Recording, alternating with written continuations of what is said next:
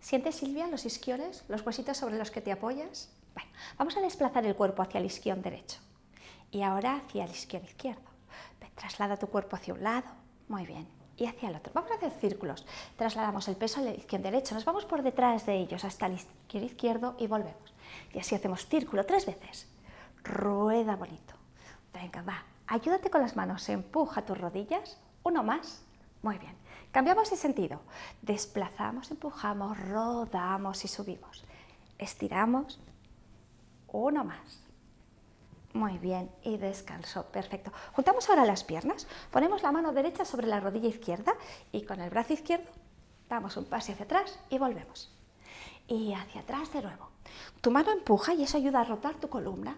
Perfecto, seguimos. Un círculo completo. Sube, flexiona, avanzado la vuelta la mano. Muy bonito. Sub, alargo y avanzo. Uno más. Subo. Muy bien, descanso. Cambia de mano y volvemos a empezar como un péndulo que va y vuelve. Uno, estiro atrás y vuelvo. Dos, alargo atrás. Muy bien, círculo completo. Lleva el brazo atrás. Flexiona como una abrazada, extiende ese brazo y gira. Atrás de nuevo. Flexiónalo, alárgalo. Uno más.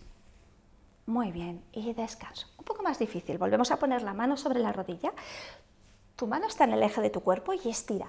Estira, larga, larga, larga. Cuando estés en el máximo de longitud, gira sobre tu eje. Pones la mano en posición cavar y vuelvo despacio.